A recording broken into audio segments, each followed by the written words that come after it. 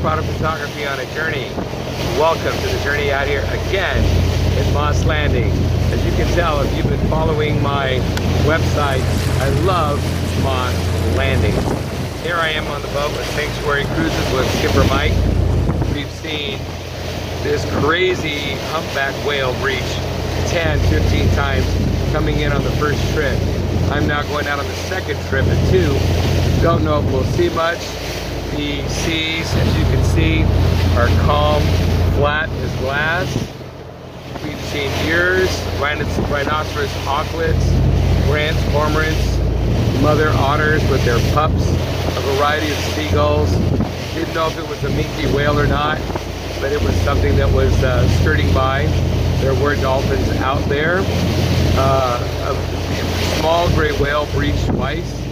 I saw the splashes, couldn't get any shots or video, but I did get to see it a little bit.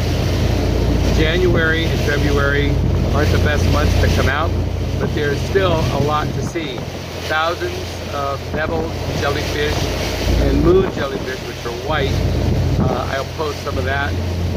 There's only a few people on this trip, and hopefully it'll be a good trip. But to me, any trip out at sea is a great trip.